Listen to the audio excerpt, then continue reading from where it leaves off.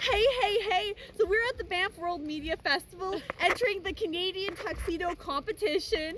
And here on the Show Banff Show, we celebrate mental health, what people are up to, and startup culture. And guess what? I ran into another phenomenal guest. Would you like to introduce yourself? Sure, sure. I'm Jane McCannell, and I have a podcast called Broadcast Love. It just launched last week, and I'm here at the Banff World Media Festival, and I'm loving it. It's beautiful. This is ultimate Canada, you should including the weather.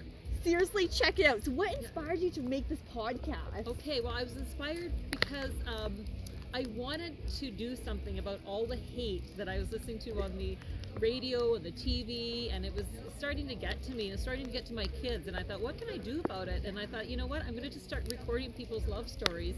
And so that's what I do. I record everyone's love stories. I put them up there for you guys to listen to, and they also, I always ask them what their advice is.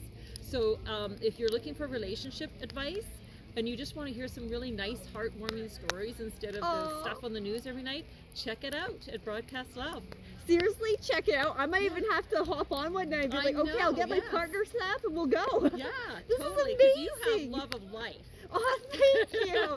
Honestly, I just have, it. I just go for it and like, Yeah. yeah, whatever makes you happy, go It's for it. Awesome. It's awesome. yeah. Yeah. And yeah, is there anything out? Like, what's your favorite love story that you've like secretly?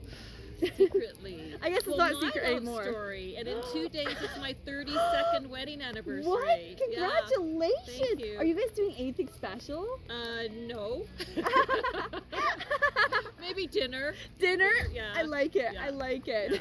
Yeah. And for anyone um watching this, um this is like under wraps. We're gonna keep it a secret because that's what happens at the festival here because people don't want to spoil their ideas. But keep an eye open. She may or may not be making a film. Yeah, that's right. film. That's right. But Maybe making so- a couple of shows. Exactly. So keep your eyes out for her. You never know what's happening. Like that's the best part. People are always changing, trying new things. So this is one to watch out for. 100%. awesome. Well, Okay. thanks for coming on the show Thank you. today. Thank you for having me. It's my pleasure. Okay. Bye, you guys. Bye.